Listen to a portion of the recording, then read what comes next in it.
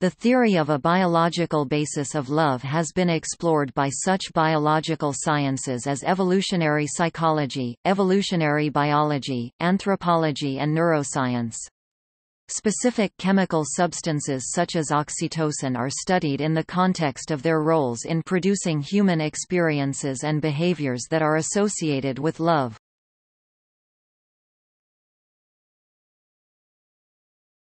Topic: Evolutionary psychology Evolutionary psychology has proposed several explanations for love. Monkey infants and children are for a very long time dependent on parental help. Love has therefore been seen as a mechanism to promote mutual parental support of children for an extended time period. Another is that sexually transmitted diseases may cause, among other effects, permanently reduced fertility, injury to the fetus, and increase risks during childbirth.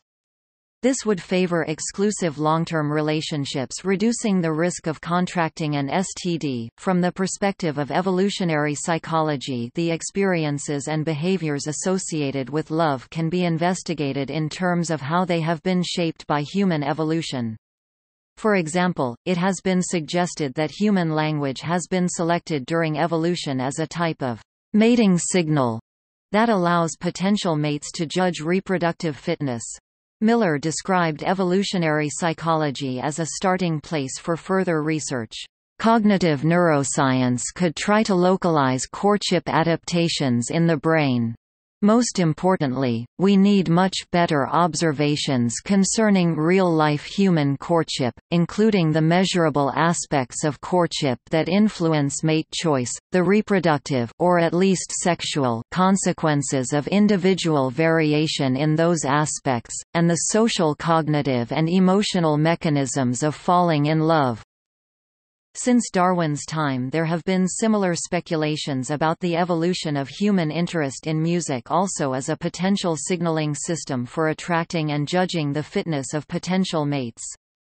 It has been suggested that the human capacity to experience love has been evolved as a signal to potential mates that the partner will be a good parent and be likely to help pass genes to future generations.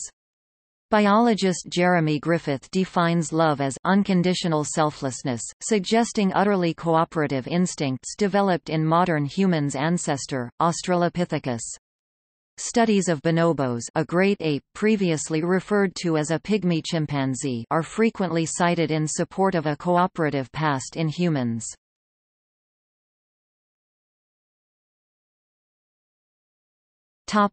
Neurochemistry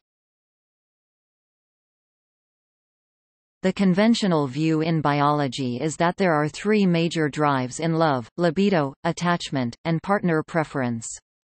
The primary neurochemicals neurotransmitters, sex hormones, and neuropeptides that govern these drives are testosterone, estrogen, dopamine, oxytocin, and vasopressin. Central dopamine pathways mediate partner preference behavior, while vasopressin in the ventral pallidum and oxytocin in the nucleus accumbens and paraventricular hypothalamic nucleus mediate partner preference and attachment behaviors.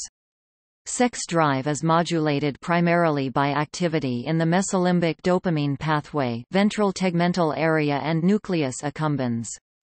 Trace amines e.g., phenethylamine and tyramine play a critical role in regulating neuronal activity in the dopaminergic pathways of the central nervous system. Testosterone and estrogen contribute to these drives by modulating activity within dopamine pathways. Adequate brain levels of testosterone seem important for both human male and female sexual behavior. Norepinephrine and serotonin have a less significant, contributing role through their neuromodulatory effects upon dopamine and oxytocin release in certain pathways, the chemicals triggered that are responsible for passionate love and long-term attachment love seem to be more particular to the activities in which both persons participate rather than to the nature of the specific people involved. Individuals who have recently fallen in love show higher levels of cortisol.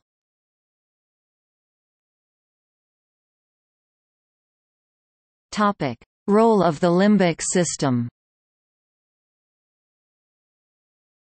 In A General Theory of Love, three professors of psychiatry from UCSF provide an overview of the scientific theories and findings relating to the role of the limbic system in love, attachment and social bonding. They advance the hypothesis that our nervous systems are not self-contained, but rather demonstrably attuned to those around us and those with whom we are most close. This empathy, which they call limbic resonance, is a capacity which we share, along with the anatomical characteristics of the limbic areas of the brain, with all other mammals. Their work builds on previous studies of the importance of physical contact and affection in social and cognitive development, such as the experiments conducted by Harry Harlow on rhesus monkeys, which first established the biological consequences of isolation.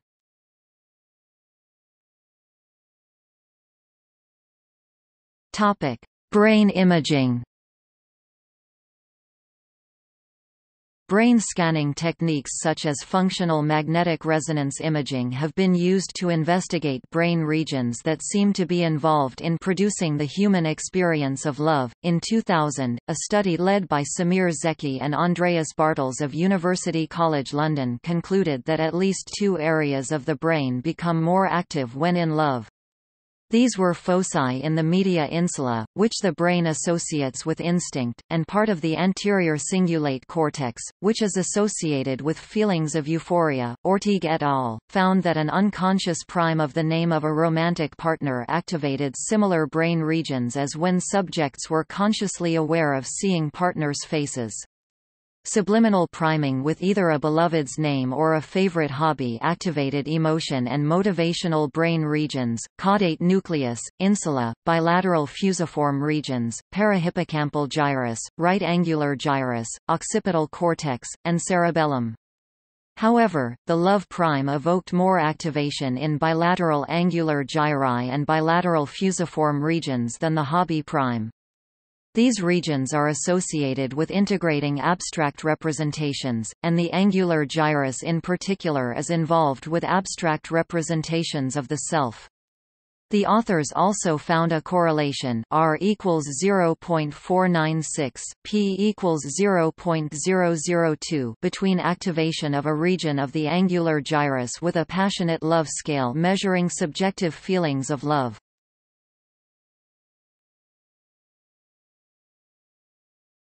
Topic: Love and motivation. Conscious thoughts about a romantic partner activate brain regions related to reward and motivation. Ortigue et al. investigated whether unconscious priming by a partner's name could also affect motivation. They found that priming by either a beloved or a favorite hobby improved reaction times in identifying whether a string of letters was a word or not compared against priming by a neutral friend. The authors suggest this effect happens because a beloved's name may call for a goal-directed state and produce dopaminergic-driven facilitation effects.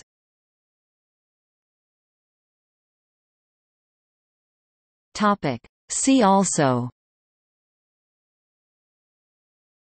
Biology and sexual orientation. Interpersonal attraction. Religious views on love. Lovesickness. Neuroanatomy of intimacy